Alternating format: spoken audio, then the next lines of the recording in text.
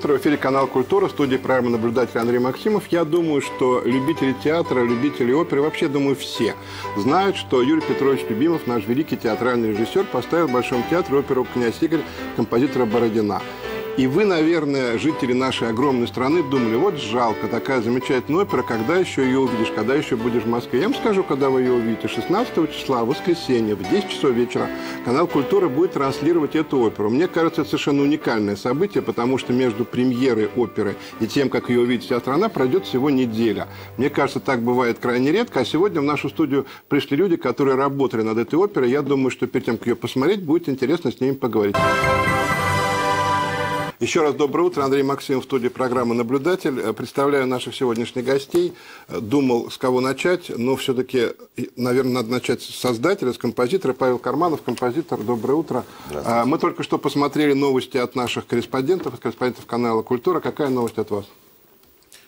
Моя новость, э, ну, кроме премьеры в Большом театре, это участие в Дягилевском фестивале в Перми у Теодора Курензиса, где исполнялся мой секстет – называется «Любимый ненавидимый город», Алексеем Любимовым, Еленой Ревич и другими прекрасными музыкантами. И вот был большой успех, вообще был грандиозный фестиваль, грандиозное музыкальное событие, приезд огромного количества звезд туда, сбор, ну, сбор лучших э, музыкантов со всей страны. А народ?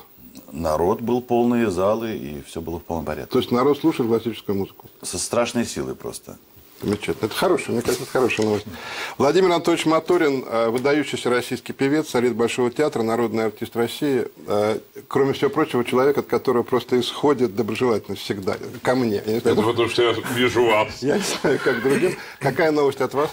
Какая новость? Ну, у меня одна новость. Э, премьера князя Игоря в Большом театре, потому что последние два месяца и днем, и вечером, и ночью – шла титаническая работа над собой и над спектаклем. У нас сегодня так не часто так бывает, два выдающихся певца. Пата Бурчуладзе, знаменитый тоже человек, народный артист Грузии. Я уже вам сказал перед эфиром, что я когда с вами разговариваю, когда вас смотрю, я вспоминаю, какая замечательная страна Грузия, как давно я там не был, что обидно. Новость от вас. Ну, новость что? Мне было очень приятно участвовать в этом спектакле. Я действительно ждал этого спектакля, потому что с Любимым я знаком уже с 1978 года, с Юрием Петровичем. Я учился в Ласкало, э, был стажером в Ласкало, когда он приехал ставить Бориса Годунова. И затем поставил Хованщину еще, когда я там был. Я уже смотрел на его репетиции, участвовал там, ну, в смысле, присутствовал на этих репетициях. И вот спустя стольких лет мы опять встретились, уже встретились на это мне это очень приятно. Ну, в общем, вы можете понять, что люди, которые работали над, Борис... над этим спектаклем, над князем Игорем, они ничем другим не занимались, потому что эта работа занимала их целиком. А, ну, что, наверное, наверное, хорошо. Вы уже поняли повод. Мы сегодня будем говорить об этом произведении, об этой постановке. Я еще раз хочу сказать, что 16 числа на нашем канале уникальное событие между премьерой и показом проходит всего неделя. Вы сможете посмотреть это произведение. А сейчас давайте посмотрим небольшой сюжет и вернемся к нашему разговору.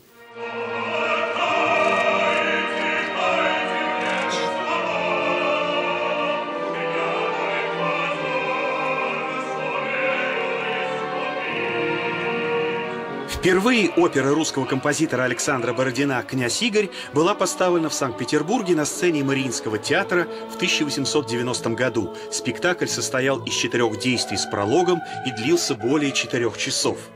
Работу над этим произведением Бородин начал за 21 год до премьеры. Музыкальный критик и историк искусств Владимир Васильевич Стасов предложил своему другу удивительный оперный сюжет. Посоветовал обратиться к памятнику древнерусской литературы, созданному в XII веке. Бородина вдохновила слово о полку Игореве. Он с восторгом говорил, что сюжет пришелся ему ужасно по душе. Чтобы глубже проникнуться духом старины, композитор побывал в окрестностях Путивля, изучал исторические источники, летописи, исследования о половцах, музыку их потомков, былины и эпические песни. Опера сочинялась в течение 18 лет, причем многое не было записано и оркестровано Бородиным. После его смерти Александр Константинович Глазунов по памяти восстановил увертюру и на основе авторских эскизов дописал недостающие эпизоды, а Николай Андреевич Римский-Корсаков инструментовал большую ее часть. Для Большого театра «Князь Игорь» опера очень важная, лежащая в фундаменте русской части репертуара. Она выдержала семь постановок и была сыграна более тысячи раз. Новая версия – дебют Юрия Петровича Любимого на сцене Большого театра. Она резко отличается от всех предыдущих, потому что для режиссера в словосочетании «оперный театр» главное слово «театр». Ну что же, начнем мы, Павел Викторович, с вас, если можно. Пожалуйста, пожалуйста. Вот я в одном из, я вам сейчас задал вопрос, который бесконечно все задают, но тут от него никуда не деться. А, я сделал полезное для князя Игоря вещи, сказали вы в, одной из, в одном из изданий. Это значит, что вы э, улучшили Бородина? Нет, это я значит, что значит, что я э, ну, в каком смысле отстаивал какие-то наиболее яркие, красивые части этой оперы и ну, иногда приходилось спорить с Юрием Петровичем с тем, чтобы, например, сохранить этот кусок э, в партитуре, а, а не э, купировать, вы, как вы, многие другие. Вы сокращали. Да, в основном моя работа была в сокращении. Скажите, в таких пожалуйста. точ- точечных, хирургических, очень тонких и деликатных Вы сокращениях. сокращали по партитуре или, или по- почему? Э, По записи и по партитуре. То есть у меня Вот есть композитор, естественно. вот композитор получает партитуру э, произведения великого. Вот, как, вот мне бы сказали, сократите Евгения Онегин Пушкина. Вы дали бы текст Пушкина сокращать, я бы растерялся. а вот вы знаете- когда сокращаешь оперу? Э, Конечно, боязно. Конечно, э, боязно прикоснуться к э, Бородину и как-то что-то там, не дай бог, навредить. С одной стороны. С другой стороны, э, необычайно почетно, необычайно э, престижно и необычайно приятно и интересно пообщаться с Юрием Петровичем Любимовым воочию. Надо сказать, что, э, ну, ну, собственно, редакции предше- предшествовала довольно длительная работа по обсуждению, собственно говоря, с Юрием Петровичем, его концепции, прослушивание многих версий этой оперы в разных исполнениях. Ну, надо сказать, что э, нотами владею да, из нас двоих я. Э, Юрий Петрович, э, он в большей степени магистр именно режиссуры. Вот. А я работал как бы его музыкальными мозгами, руками, глазами, Юрий ушами Петрович объяснял, про что будет опера? про э, имперскую оперу, значит, как-то изначально даже планировался под сенью Богородичной иконы.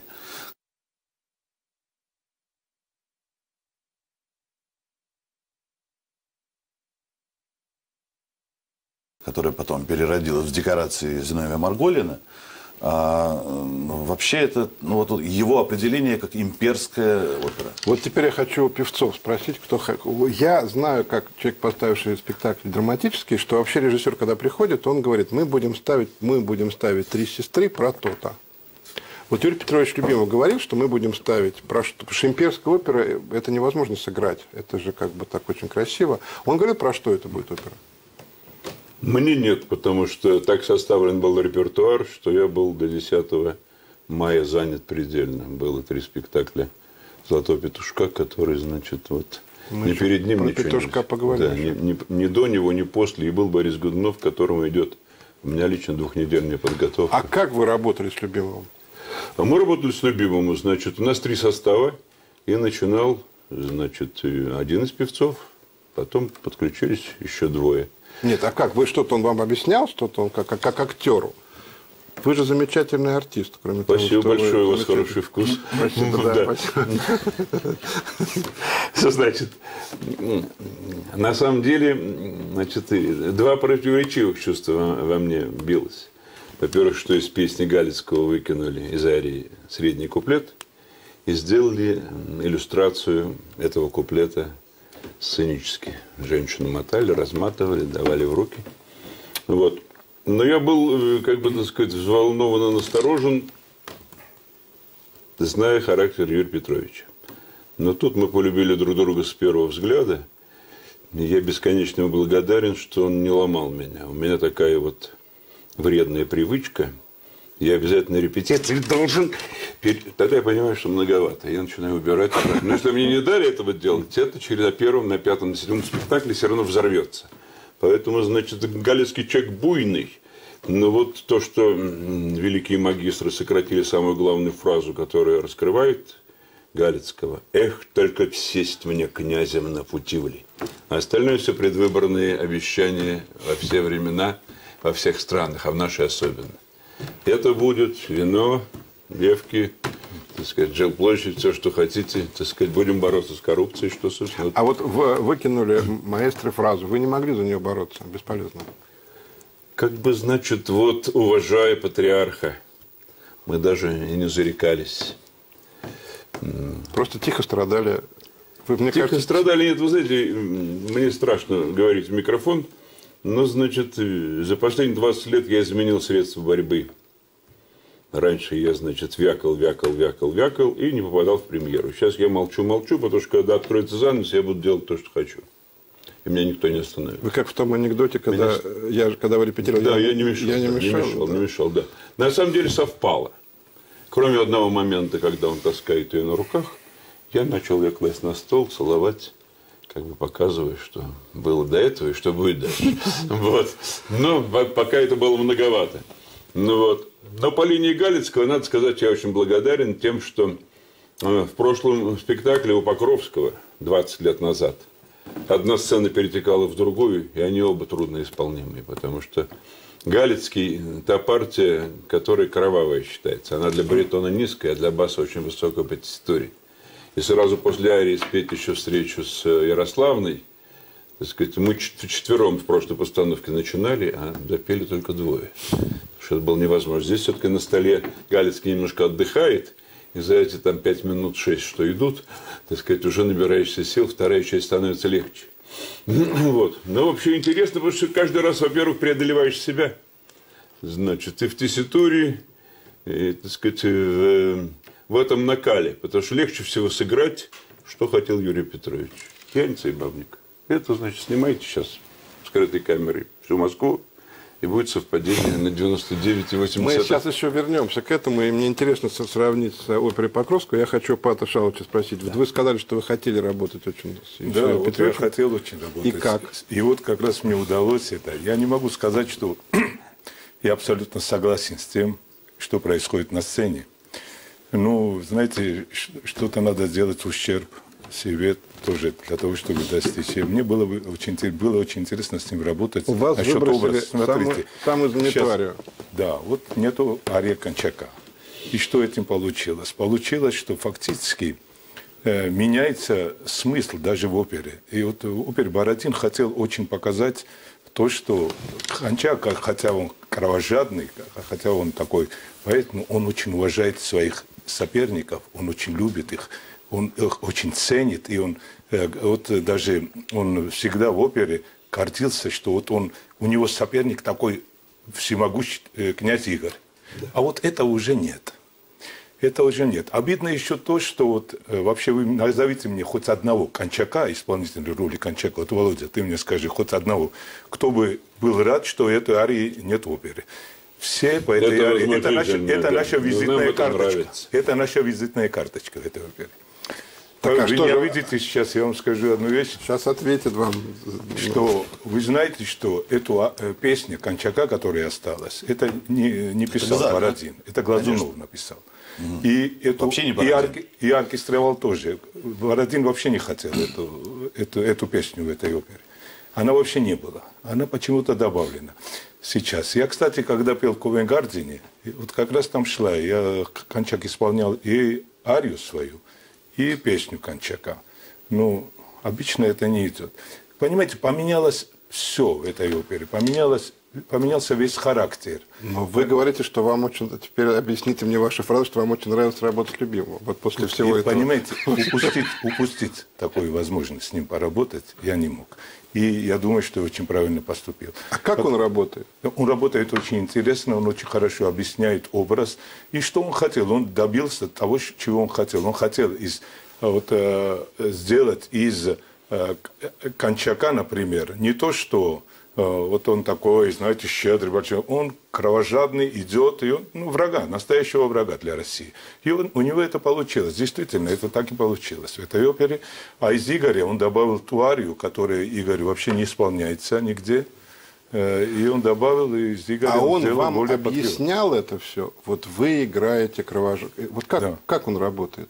Он с вами работал как драматическим артистом? Да, да, да, он были такие э, места, где он мне делал очень такие драматические замечания. Мне это было очень интересно и очень правильно. с ним работать это одно удовольствие. Скажите, Павел, а вы прекрасно понимали, что если вы выбрасываете арию Кончака, то к вам будет огромное количество вопросов и претензий.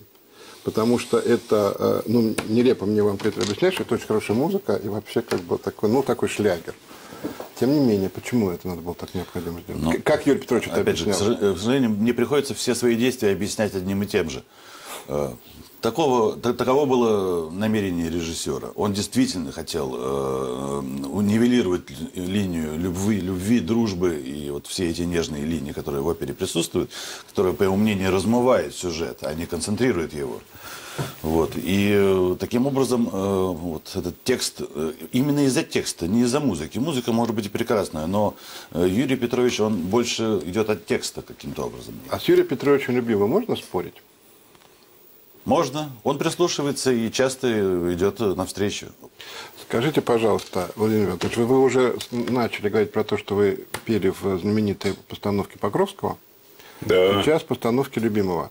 А, Я не прошу вас так прям сказать, какая лучше. Это второй вопрос. Чем, самое, чем они принципиально отличаются? Принципиально отличаются прежде всего, Какой голос? Значит. Невозможно. Прежде всего они отличаются тем, что э, у любимого э, динамичный пролог. Мне это нравится. Хотя красочнее было у Покровского, выносили хоругви, знамена. Здесь для меня большой загадкой было, что вся бригада Галицкого с крестами. И ни в одном месте нету ни иконы, ни хоругви, ни один человек не крестится. Так сказать, вот. А удобнее вам, вот я такое спрошу слово, удобнее вам было в какой постановке? Мне в этой постановке удобнее. Кроме, кроме сожаления, что вот моя любимая реплика выпала. А удобнее почему? Потому что есть перерыв между сценой с Ярославной. Покровского было более чем сложно. Надо было после арии сцены с мужиками переходить через бруствер. Я бы мог перешагнуть своими длинными ногами. Нет, нужно было спускаться вниз, сбивать дыхание, подниматься, крутить девушку, класть ее на колени, целовать, потом ее выбрасывать, э, чтобы не потерял мысль. Какая вас тяжелая работа такая. Тяжелая Мне работа, потому что там тесситура. Всё И там такая тесситура, что сдохнешь. Извините за слово тесситура.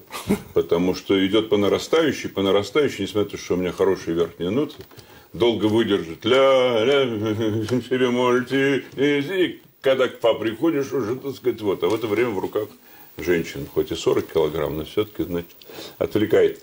Э, Что мне понравилось у любимого, то, что праздник э, Половецкий, он в середине что, может быть, немножко снижает градус возвращения Игоря. А у Покровского кончалось вот этой вакханалией, свадьбой, половецким актом. Но там была расшифровка, которую, не знаю, можно в эфир передать или нет. Он с нами в беседе, Борис Александрович, говорил, что Пожалуй, Кончак это Назарбаев, который понимает, что Казахстан никогда Россию не завоюет даже с ядерным оружием.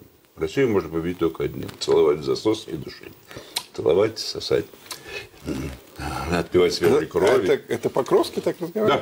Да, и на самом деле так и было. Кончалось этого канале с танцами, потрясающе. Выходил Кончак, я играл и Кончака тоже. Он держал эту девушку не потому, что вожделела, а потому что, так сказать, это была победа, так сказать. И в это время на заднем плане появлялась церковь на Нерли. Все так вяло смотрели на нее, что пора на родину.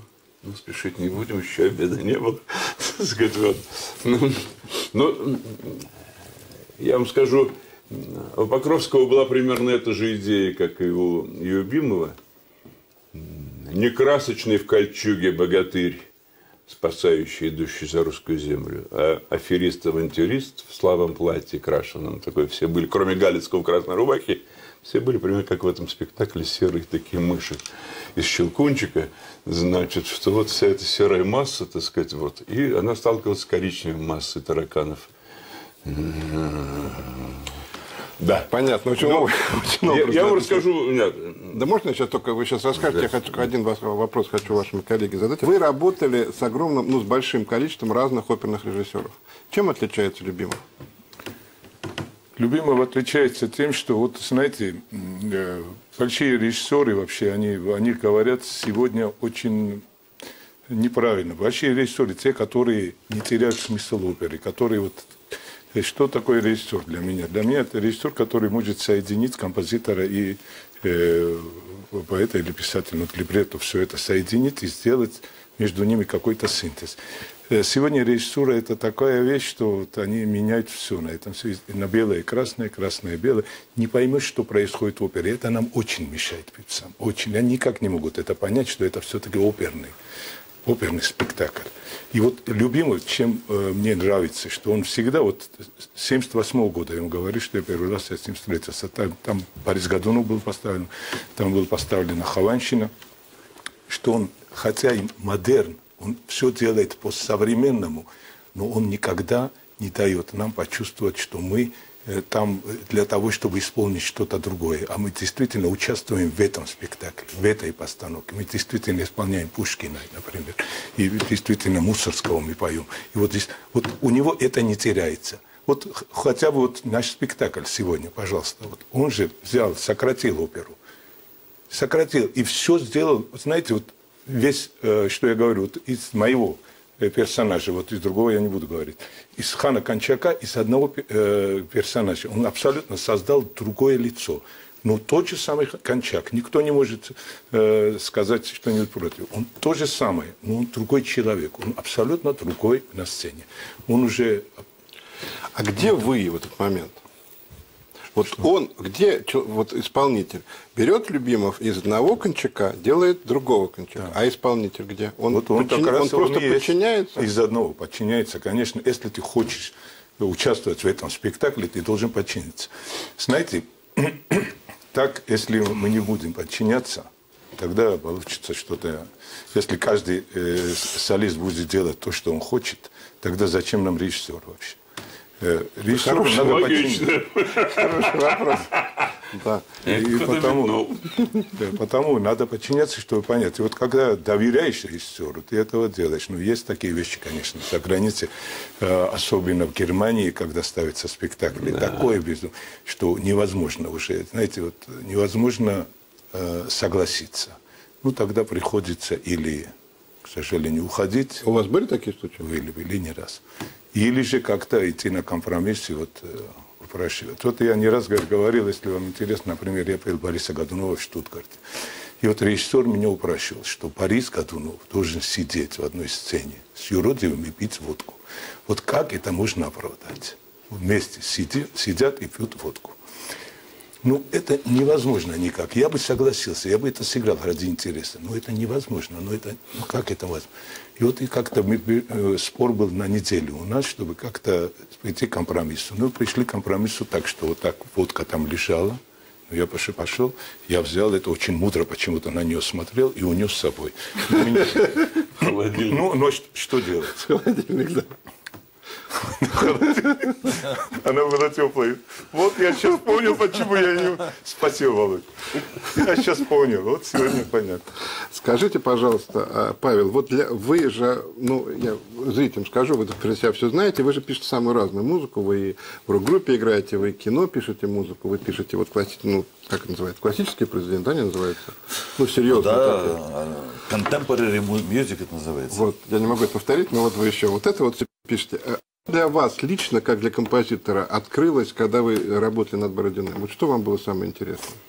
Э, ну, во-первых, мне открылась, конечно, сама опера в большей степени, чем я раньше ее изучал в консерватории или в, в там, ЦМШ. Во-вторых, я очень полюбил эту музыку. Я так раньше ее не любил. И когда я в нее плотно вник, э, в ее структуру, и вообще ну, как бы в ее музыку, я начал ее фактически знать наизусть в какой-то момент. Вот, и э, очень приятно заниматься вещами, которые любишь, согласитесь. Музыку ведь написал химик. Ну, меня тут в данном а... случае вот э, кто-то педалирует слово химик, а мне совершенно все равно, Нет, химик он Но она действительно, я ничего там не понимаю, она действительно стоит в ряду, но у нас, слава богу, оперы-то великие, разных великих композиторов, того же Мусорского, того же Чайковского, она действительно стоит в этом ряду. Конечно, обязательно.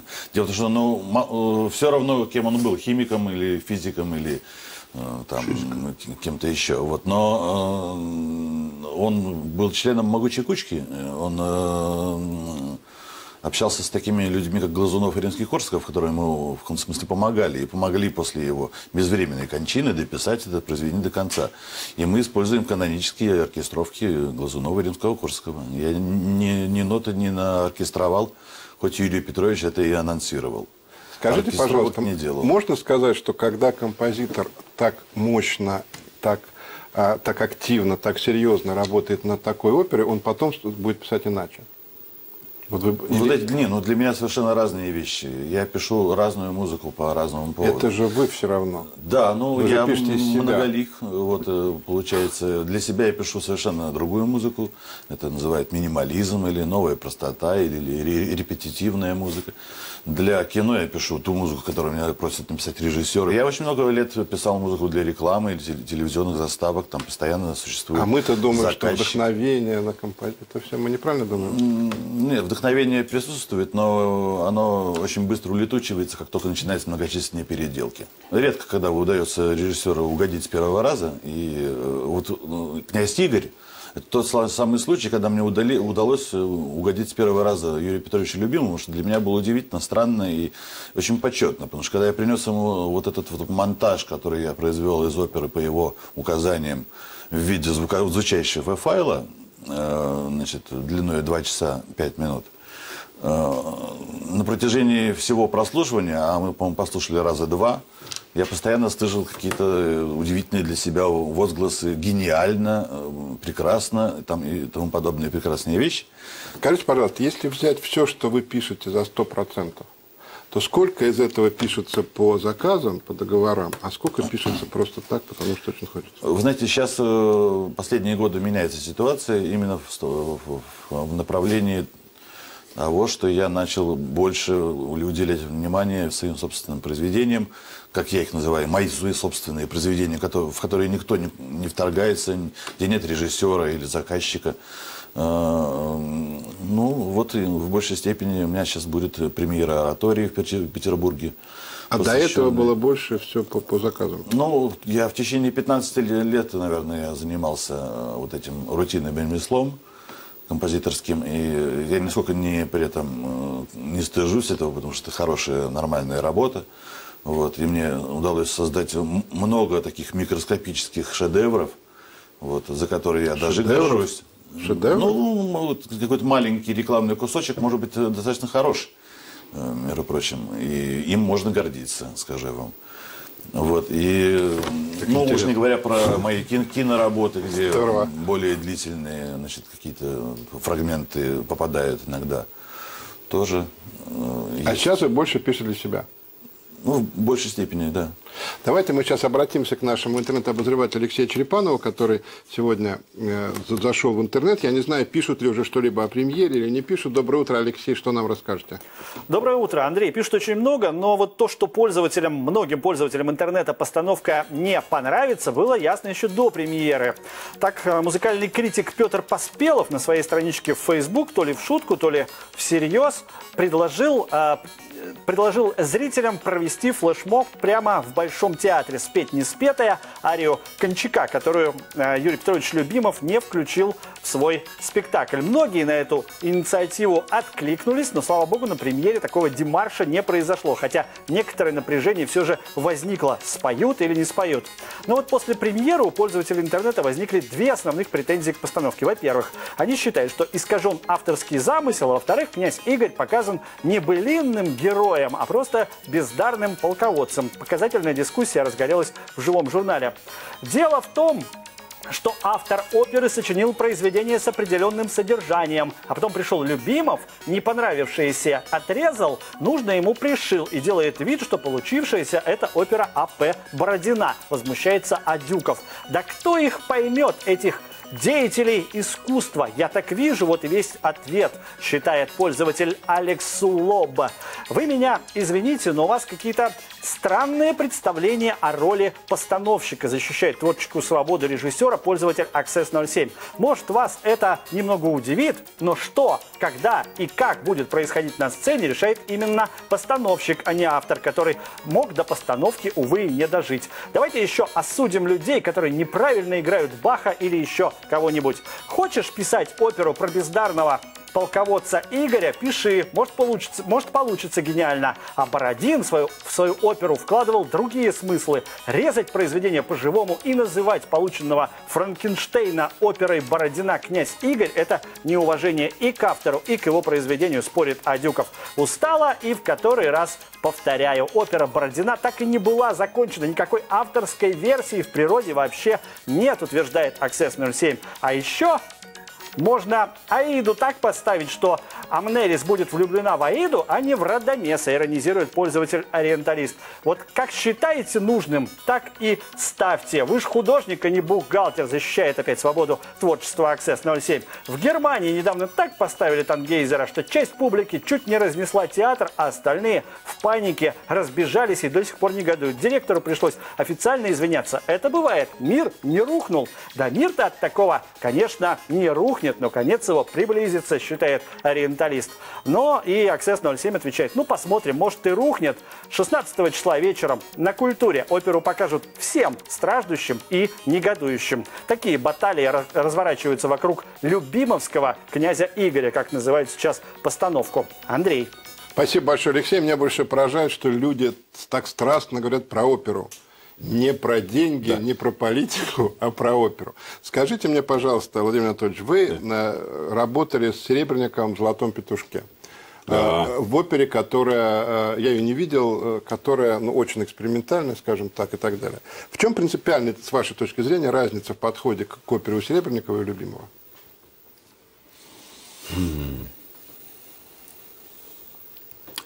Ну, значит, начну с любимого, это более свежий. Я рад, что великая музыка, хоть и с какими-то сокращениями, снова на сцене Большого театра. И вот как замечательно сказали авторы музыкального прочтения, да, можно что-то лишнее или не лишнее отсечь, но оставить целое. Э, в целом, конечно, драматургия выиграла скорость Три часа для русского зрителя – это ровно столько, сколько можно выдержать. Хотя, конечно, вот мне жалко. Я переживал, что мне не дали. Хоть бы они оставили бы уже эту арию. Все, все остальное, мне кажется... Нет, объясняю. Ария, ария настолько красива, и она определяет Кончака во, во всей красе. Он и политик, он и угрожает, и он и покупает. Не травите душу. Нет, да. Мы так, мы так Значит, я уже отравлю невысокость. А, а Серебренников? А Серебренников? Ну, вы знаете, я с интересом работал. Хотя э, от русской сказки, какую писал Пушкин, которая была цензурована, ничего не осталось. Вот. Но сам процесс работы был интересен, потому что как бы открывались новые горизонты. Если бы это было поставлено лет 10 до этого, конечно, это была бы даже не атомная, а водородная бомба. Значит, все приближено к Кремлю, заседание Госсовета, великий вождь без фамилии – это я, выбритый в а пиджаке. А как, а как народ э, воспринимает это, зрители? Вы знаете, я по своей жене сужу. Она, значит, плевалась и сказала, что зря в этом участвовал. Но когда она три раза посмотрела, она привыкла и сказала, очень много хорошего, но только благодаря мне. Так сказать, вот при всей сложности отношений. А разница в подходе у этих режиссеров есть? Вы знаете, у меня не в обиду режиссерам будет сказано, вот вы гениально уловили. Драматические режиссеры ставят сквозное действие, но они идут от либретта. И в этом загвоздка ошибки. Потому что... Они от музыки. Они от музыки. Потому что из либретта композитор делает музыку, и она, может быть, слова играют, наоборот, другую роль. Ну, то есть, вот в спектаклях Гранд-оперы, как Большой театр – 80% должно идти от слуха, от красоты. А красоты у Бородина столько, столько, столько красивой музыки, и восточной, и невосточной, столько, столько вот нельзя выразить даже словом, столько силы духа и такого мощного, не знаю, славянства, не славянства, но вот квинтэссенция русского духа в этой музыке. А, э, э, и характеры тоже квинтэссенции. И Галицкий, и Скула и Ерошка, и Кончак, и все остальные. Это вот эти русские люди, которые разные. Одни вот с татарской кровью, другие не с татарской кровью, так сказать. Но вот эта Россия многонациональная, как бы ее история, почему все большие произведения русской музыки идут не сколько о любви, сколько, так сказать, вот о сложном понятии, так сказать, Россия, ее судьба, А ее скажите мне, Владимир история, Анатольевич, э, неожиданно. ее будущее, извините. Неожиданный для вас вопрос. Да. А почему вы не ставите сами? Они дают, дайте поставить. Я не могу. А вы хотели бы? Я бы хотел, да. Значит, я хочу сообщить, что Владимир Моторин хочет поставить оперу. Я сообщаю об этом всем, может быть, просто все не в курсе. Нет, я, мне серьезно, мне кажется, что это... Потому что вы так интересно говорите, так интересно разбираете, что ощущение, Ну, что... Вы знаете, вот у меня единомышленники, идет операбельный процесс. И поэтому вот э, я себя ощущаю как э, старший следователь по особо важным делам и как хирург. Сказать, нужно алгеброй править гармонию, и чтобы образ был шире, нужно, так сказать, поколупаться, первоисточник почитать, полистать клавир, Да, ну вот я- я- побеседовать с умными людьми, подумать об этом, о чем, так сказать, вокалисту не надо думать, так сказать. вот. Я серьезно говорю, мне кажется, что это ну, такой, так сказать, серьезная заявка. Вы же не просто Ну, так... вы- 10% ваши. Нет, я, я, я заработаю. Пат, я вас все время спрашиваю, как человек, который работает в разных театрах, может быть, это правильно, может быть, неправильно. Как вам работа в Большом театре? К сожалению, за последнее время про Большой театр очень редко говорят, я не призываю говорить хорошие слова, но просто понять, какая там атмосфера, как там существует певец, как Знаете, там работает. Сейчас не, не, не, не ожидайте от меня что-то очень такого. Может быть, мне что-то нравится, что-то не нравится. Я вам скажу, что режет очень ухо. Очень режет ухо в Большом театре, когда по микрофону или там объявляют, ну, работаем сегодня, давайте работаем. Это слово «работаем» как не подходит творческому коллективу. Вот это я никогда ни в каком театре я не слышал. Завтра работают Моторин, Бурчула, это, Заремба. Работают. Значит, как-то уже, знаете, как-то вот я уже не как кончак иду на сцену, а как какой-то трубой, уже исполнитель какой- какой-то. Справку можно? Э, потом, Мы подписываем договора, и в этой гадской бумаге написано дирекция театра в лице Сидора Матрасова. Вот Это дальше становится дирекция и м, Авраам Семеновича Гальштейна. Дальше работник. И дальше все время идет работник. То, что народный артист, заслуженный артист. Не то, что слово Профессор, слово- слово работник, слово да, работа- к артистам не подходит, потому что это, это очень Да, это уважительное так слово. сказать, Конечно, работа это очень... ну, нам Вот это, мы работники. Это, это очень режет ухо. Потом как я первый вам- раз а вот- услышал слово такое на репетиции, как... э, Подождите, как это было? Э, Сегодня у нас... Какая репетиция? Что, что было объявлено? Балансовая репетиция. Я спросил, что это такое? Вот За 35 лет моей карьеры я такой репетиции. Балансовая репетиция. Оказывается, это акустическая репетиция, называется балансовая. В смысле, по- проверить как.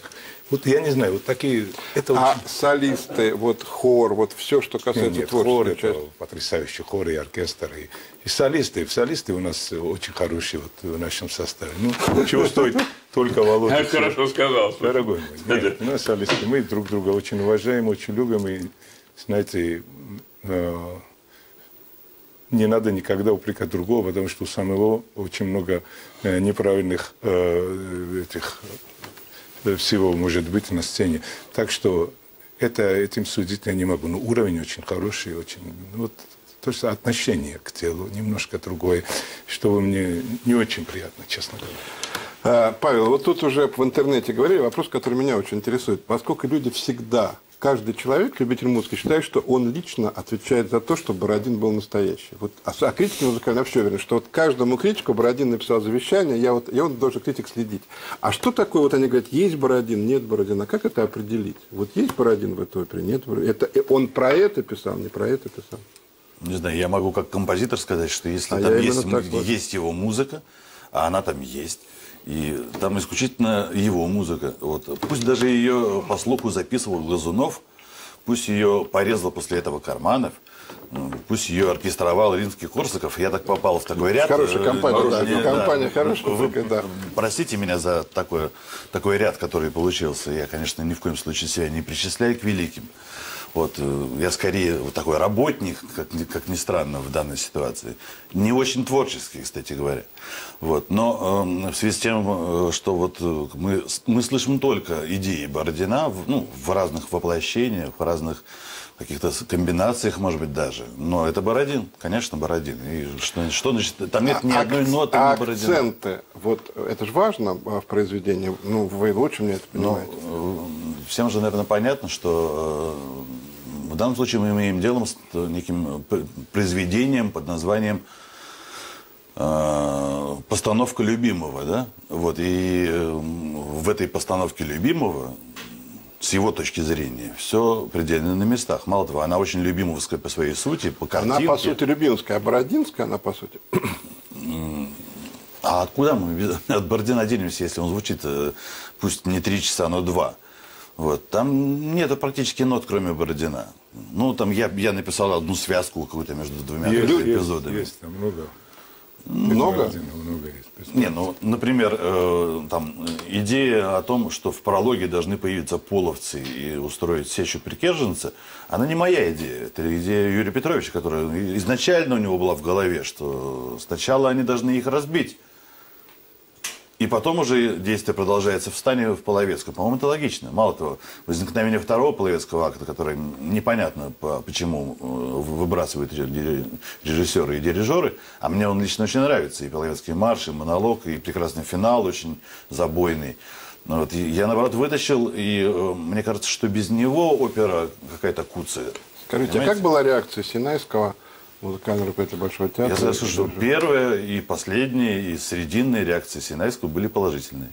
Дело в том, что я этот же самый файл, э, значит, из которого потом была изготовлена мною партитура, и э, уже расписаны голоса. И было очень сложно в последний момент добавить аккордик, потому что это все уже расписано всем в, в их партии, понимаете? С самого начала прослушал это дело и не раз.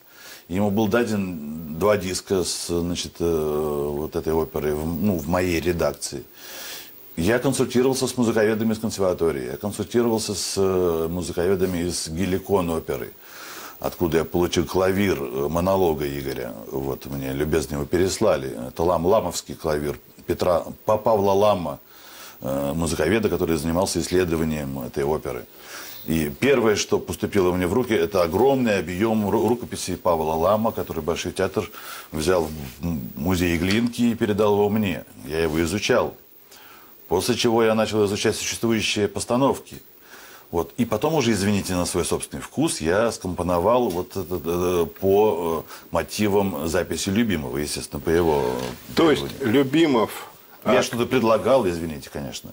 Э, какие-то Любимов. Карманов вместе с Мартыновым и Синайский работали вместе. Не было такого ощущения, что кого-то из вас заставляют что-то делать. Была- э, ну, я бы сказал, что в большей степени работал Карманов с Любимовым. Синайский все-таки дирижировал уже готовой партитурой. Но он не был, не протестовал. Он иногда, э, э, сказать, бы, высказывал определенные опасения. Вот. Но ему, как и многим, нравится то, что опера стала динамичнее. Я не очень понимаю людей, которые так э, прямо страшно убиваются из-за, извините, арии Кончака. Вот. э, При всей прекрасности этой музыки. Там звучит масса другой прекрасной Павел, музыки. Павел, Павел, Вы очень зря. Павел, мне кажется, вы не Я можете думаю, что я очень хочу с вами согласиться, но это нельзя. Вы не можете Ну, смириться. Нет, нет, как это? Песня хуже, чем Ария. Ну. В Арии можно было бы вырезать, как Шаляпин поет один куплет.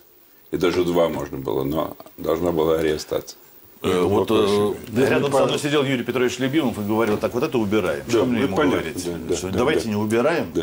Я, кстати, в некоторых случаях просил его там э, и бежал ему, он говорит, убираем этот проигрыш там между Да. там сценами. Я говорю, вы что, ну это так прекрасно звучит, это, это, это шедевр музыки. Наверное, мне надо было сказать так и про Арию Кончака. Я прошу прощения перед вами, и перед теми исполнителями Кончака, что Но я у так не сделал своя и не попытался Мне это нравится, потому что я Кончака не пою. А своя позиция у вас была, ну вот, скажем, по той же Аре Кончака? Или вы шли только за Юрием Петровичем? Мне бы не хотелось сейчас обидеть исполнителя Арии Кончака, но э, э, не она главная для меня в опере. А для меня вот и Юрий Петрович поставил задачу такую, что э, ну, главным в опере должна стать вот фигура страдающего и метущегося Игоря в плену. И поэтому он появляется А вторично понимаете в- вы, в вот, третьем не получилось самое главное. Почему он страдает в плену? Почему он не может убежать оттуда? И он говорит Там он пару сам себе, же потому осталось. что ему неудобно перед Кончаком, потому что Кончак его принял так, он с ним обращался как на равных, он восхищался им, и он создавал ему все. Вот, вот потому, а то Игорь бы взял и уже без всяких страданий был бы Что ответите? Э, Ну, вообще есть много ведь трактовок э, слова о полку Игореве. Одна из них говорит о том, что Игорь, наоборот, был плохим человеком, и он первый напал на хана. Да. И, э, начал, Нарушил договор. И, и начал всю вот эту вот э, военную деятельность. За что и получил по заслугам, получается. Ну, в общем, это все в голове у Юрия Петровича находится, в любом случае. И не хочу никак э, сложить себе вину э, за что-либо, но, тем не менее, я все-таки выполнял указания режиссера. Я то же самое выполнял, просто я, когда вы говорите, что ничего не потеряла опера, я с этим согласиться не могу. Скажите, Ну, пожалуйста, скажите, а, а- а если бы там эта ария была, а все остальное, вот, что мы Да-да. отсекли, отсечено, как Я бы, выиграл абсолютно другого человека. Так и опера получила бы другой, как Да, многие том-то и пишут. дело, я и, и про говорю. другого хана, Нет, я, я не, Игоря про я не спорю о том, что так хотел любимого и так должно было быть. Да. И Я потому согласился. Но когда вы говорите, что ничего не потеряла опера, вот я с этим я не могу согласиться. Так Ну, нельзя. хорошо, я Да, я беру извиняюсь. свои слова обратно. я хочу сказать, что Юрий Петрович Любимов гений, потому что поставить классическую оперу так, чтобы вокруг нее шли такие споры, даже у нас, это, конечно, должен быть, ну, надо быть каким-то невероятным мастером. Скажите мне, пожалуйста, вопрос, который я вам хочу задать, потому что он все равно у людей 95 лет человеку. 95 лет. Это вот через 5 лет ему будет век. А это видно как-то? Вот что это очень пожилой человек. Нет. Нет, абсолютно. Вообще не, нет. незаметно, Глаз горит. Но он кроткий после, после болезни. Я представлял его более, так сказать, вот. А может, он не после болезни, а просто ему было хорошо и комфортно? Это надо у него спросить. Ну, вообще, э, репетиции были доброжелательные. Но у него, кстати, были очень хорошие помощники. Это Игорь Игорь. Игорь, Игорь, да, Игорь и Катя. Катя, да. Катя Миронова. Так сказать, вот они бегали просто по 100 километров пробегали от из портера на сцену и Ну, обратно, это занимаясь такой- массовками. всем вот. Давайте скажем зрителям, вы должны это сказать, что это активный, да, такой активный э, творческий человек, Юрий Петрович Любимов. Да? Ну, я лично влюблен в Юрия Петровича. Я тоже. И он влюблен в меня, и потрясающий, он э, требовал дикции. И представил меня в пример, что у меня самая лучшая дикция, что, собственно, имеет место. Действительно. Нет, я, я расскажу. В театре все-таки бывает игра в поддавки, большей части. И когда пространство сцены пустое, без декораций, это подставка в адрес певцов. Не отражается звук, вы слышите в зале ровно 50%, что стоит он, я и он. Потому что улетает туда, и в зыбких кулисах нету ни кибиток, ни чумов, ни что-то того, от чего отражается звук. Чародейка спектакль замечательно. Река течет, небо движется, э, мостки, как всегда, на волжских крутых берегах идут, площадочки, так сказать, вот. Почему-то первые выхода с пятой кулисы. Приходится орать, как зарезанному, и не видно человека, и не что спускаешься ниже, до второй кулисы. Можно шепотом говорить, слышно. Более того, во втором акте появляется дворец князя, такой двухэтажный сортир на вокзале, значит, и сразу себя слышишь, потому что деревяшка отражает звук, куда ни повернешься, совершенно другой акустический эффект. Но кто-то в театре должен заниматься интересами солиста и акустики, потому что вот так немножко повернитесь, как здесь в кадре. Значит, если никто этим не занимается, то мазня. Так и здесь, значит, вот выходишь, и нет точек опоры. Улетает звук. Вот. Но работа была интересная. Опять оторвалось. А у меня что-то сегодня все отрывается. Это очень- Я знаю почему. Темперамент. Да потому что рядом грузины. И те, кто любит Дружины Грузию, да. здесь и на сцене, дорогой мой. Говорит и показывает Москва. Вот это только не вырезайте. Мне кажется, что это сам, это не то же самое, но это очень людям ужасно интересно. Почему, почему я ему говорю, что грузины... Внимание! Не забывай, что э, Бородин – это князь Гедванишвили. И это Да. вы должны знать, почему такая хорошая музыка получилась, восточная тоже. Но всё-таки- Самое интересное, что этой восточной музыкой, в частной песни половецких девушек, ныне в телевизоре рекламируют русский квас, что очень Да, удивительно. да, Вот это меня удивляет. Мало того, уже даже дважды один мой приятель Да. написал эту музыку, и вот они настаивают на том, что именно эту русскую половецкую мелодию надо поставить. Когда на я спросил про любимого, вы начали что-то говорить, но Про? Про любимого. Да. Да, ну, знаете, вот э, меня поразило еще что, что обычно такие, такого типа режиссеры, которые точно знают, что они хотят, они говорят, вот там выходишь, туда приходишь, а он всегда говорит, если вам удобно, пожалуйста, мне было бы приятно там. Неудобно, давайте поменяем. Он всегда э, делает что-то вот э, такое. Подождите. Он всегда. Вы говорите сенсационно. Он не диктатор? Он не диктатор нас. Я этого не заметил ни 30 лет тому назад, ни сейчас. Абсолютно. Любимов представляется, об этом очень много говорили актеры его театра, таким жестким человеком, который конкретно говорит, туда пошел, сюда пошел. Да, вот он нам говорит, знаете, вот если вам удобно, мне бы хотелось, чтобы это было вот здесь. Вот так, так, так, если вам это удобно. Неудобно, пожалуйста. А давайте. когда-нибудь говорят ему, нет, мне неудобно, тут не хотите. Говорят. Я, например, сказал один раз. сказал, да. я говорю, я не могу. И он что? А он другой. Согласился. Согласился. Чего он? Юрий Петрович в разной архитектуре и акустике разный. Нет, нет безвыходных положений. Знаете, поэтому- ситуации. Можно всегда что-то найти, он находит любой другой выход. Скажите, Пата, для вас это, ну, вы много чего, я не знаю, как сказать правильно, перепели, переиграли до 35 лет. Это зна- знаковое событие, значительное событие? Очень большое. Я вам говорю. Знаете, вот э, есть э, в жизни, вот я мечтал э, еще с одним бы дирижером, Карлосом Клайберном, петь, но у меня это не получилось, потому что он очень редко дирижировал оперы. Если дирижировал, он дирижировал какие оперы, как «Отелло», «Розенкавале», где не было партии баса. И вот мне не удалось. Я очень жалею, что так ушел с жизни, что так. И вот я бы очень хотел вот еще несколькими вот режиссерами. Вот один из них как раз это есть... э, А почему вот, почему так? Просто потому, что это легенда, потому что человек в 90... Или почему так вот именно с любимого? Ну, анекдот вы рассказал, но он какой-то очень Расскажи, длинный. расскажи, Длинный. расскажи. Вот этот, извините, это такой, такой анекдот. Вот когда на э, конкурсе, э, это старый анекдот, все это знают, вы, наверное, тоже, но когда на конкурсе Скрипачей уезжает один молодой человек из Советского Союза, и с ним э, представитель госбезопасности. И там э, та- такая премия, что кто выигрывает, играет на скрипку Паганини. И он проиграл, и он плачет. Этот парень, что я не сыграл. Ну и что, говорит, не сыграл э, на скрипку Паганини. Говорит, что...